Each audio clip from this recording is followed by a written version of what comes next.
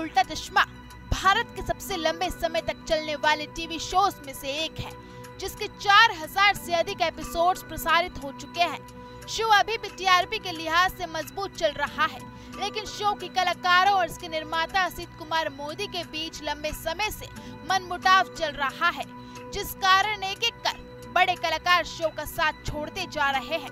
2023 में तारक मेहता का उल्टा चश्मा में रोशन सोडी की भूमिका निभाने वाली जेनिफर मिस्त्री ने अजित मोदी और उनके दो सहयोगियों पर उनका यौन उत्पीड़न करने और बार बार मांगने के बाद भी उनका बकाया न चुकाने का आरोप लगाया था। मामला इतना बढ़ा कि जेनिफर ने मेकर्स के खिलाफ यौन उत्पीड़न के आरोप में एफआईआर दर्ज करा दी, जिसमें जेनिफर को बड़ी जीत मिली। 15 फरवरी 2024 को फैसला सुनाया गया। लेकिन जेनिफर को मीडिया में इसकी चर्चा न करने की हिदायत दी गई और इसे अब तक छुपाए रखा।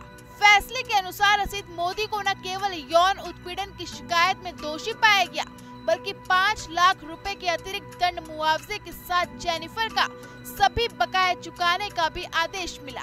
एक रिपोर्टर से फैसले के बारे में बात करते हुए जेनिफर ने कहा, फैसला मेरे पक्ष में है। जो मेरे द्वारा लगाए गए आरोपों की पुष्टि पुख्ता सबूतों के साथ करता है। मामला भले ही जेनिफर के पक्ष में गया और रसीद मोदी को उनके कार्यों के लिए जिम्मेदार ठहराया गया, लेकिन जेनिफर फैसले से असंतुष्ट है। अभिनेत्री ने खुलासा किया।